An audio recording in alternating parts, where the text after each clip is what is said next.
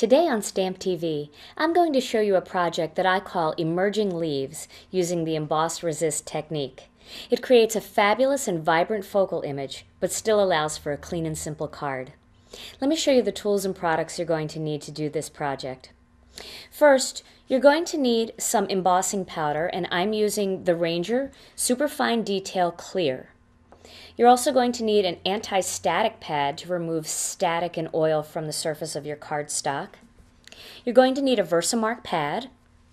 You're going to need a couple rubber stamps, and I'm using two of the stamps from the Autumn Splendor Stamp TV kit. I'm using the Gratitude block, and then I'm using the solid leaves. You're also going to need some distress ink or other kinds of ink, but I really like distress ink for this technique. And I'm using two colors. I'm using the frayed burlap, and I'm also using some of the forest moss. And then you're going to need something to apply the distress ink, so I'm using one of the Tim Holtz foam applicators. I'm also using some of the Gina K Designs Pure Luxury Ivory Heavy Base Weight cardstock. You can use the lightweight cardstock too. It doesn't matter. The layering weight is just as good. Um, but when you make the card base for this project, you do want to use the heavy base weight. I'm going to begin by inking up my gratitude block using some of the Distress ink in frayed burlap. And then I'm going to stamp that right into the center of my piece of ivory cardstock.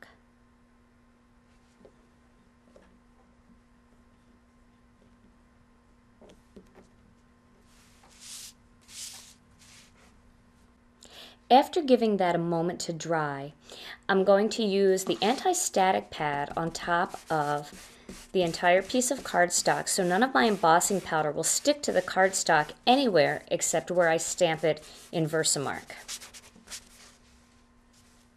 Now using my chunky leaf stamp, I'm going to ink it up with some Versamark ink and you want to make sure you really get it inked up well so that there's no shallow patches anywhere. And Versamark's pretty easy to see because it does shine, so you can just kind of look at it in the light and see if you need to ink it up a little bit more. And then I'm going to stamp this right in the center of that block of words. And make sure I get a nice solid impression.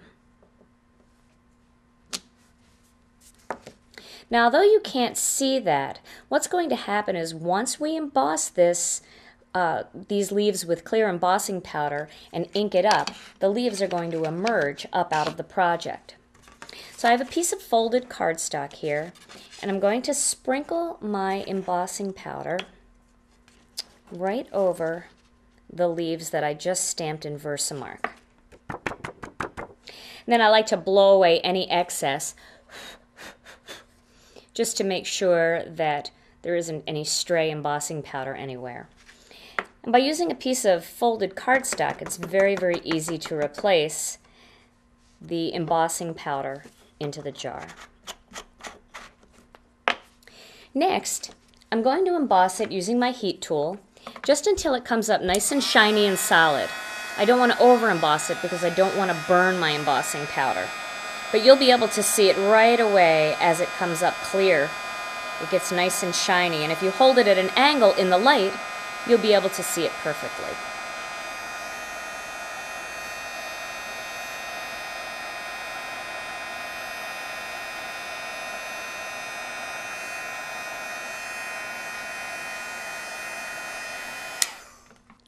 For my final step, I'm going to use a little bit of the Distress ink in Forest Moss, and I'm going to use the Tim Holtz foam applicator.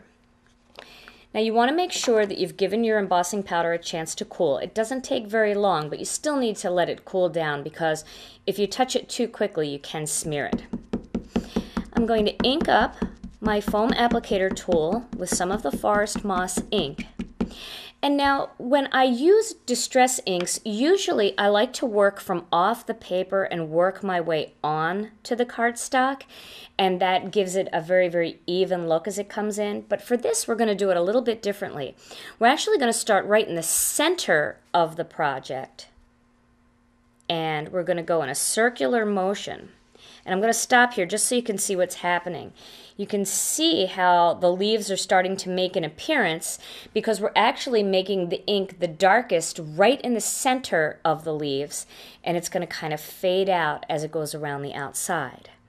So I'm putting a lot of pressure right in the center and now I'm starting to lighten up my pressure as I work my way outside of those leaves. Just kind of making an oval shape. Like that.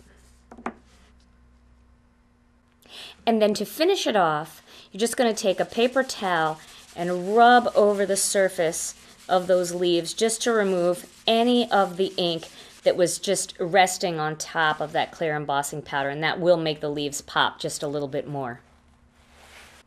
Here's a look at my final project. And as you can see, it's a very easy card to make, but that focal image really stands out.